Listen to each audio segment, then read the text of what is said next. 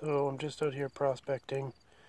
Um, we're trying to find an extension of an ore body from an old past producing mine and um, we found a whole bunch of different locations where there's sulfide mineralization um, with mainly pyrite and chalcopyrite. This is one of them. You got uh, several veins occurring along here and uh, you're going to check it out and um, take a sample from here and sample the other locations.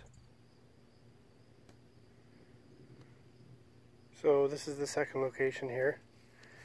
Um, you have sulfides along this wall here, right there, and continue down over here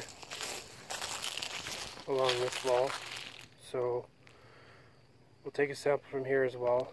Um, mineralization is mainly consisting of pyrite with a little bit of chalcopyrite.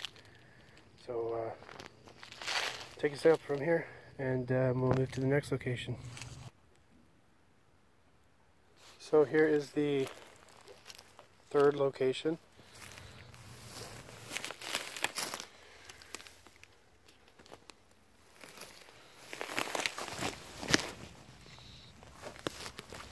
So you got sulfides along here,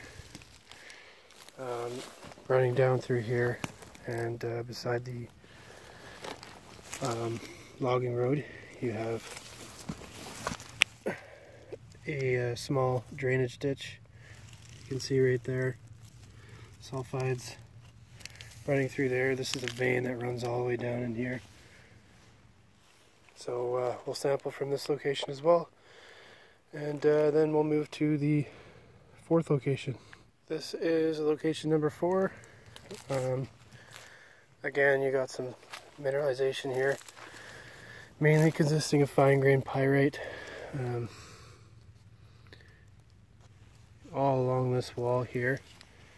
Um, you got another vein that kind of strikes through the middle of it right here.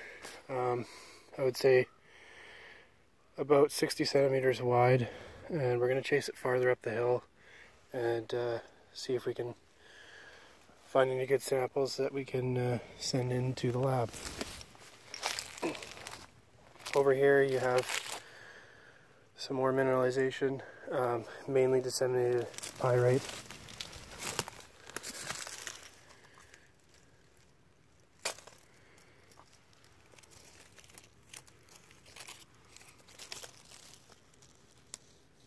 All throughout here.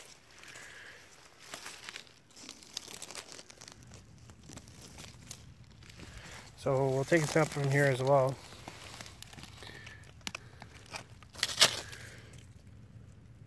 Some sulfides in there.